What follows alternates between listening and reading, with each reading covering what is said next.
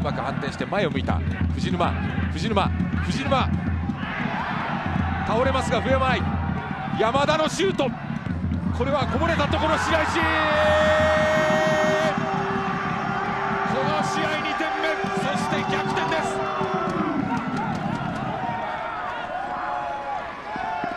後半いい流れのまま勝ち越しゴールはグルージャ盛岡。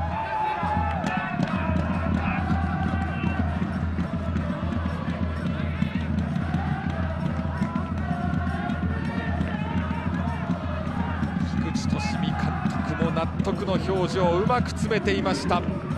一方樋口監督。J3 参入後史上初の3戦負けなしに向けて1点を取らなければいけない状況になりました。山田陸のシュートがディフェンダーに当たってコースが変わったのが功を奏しました。ただそこをうまく反応した白石。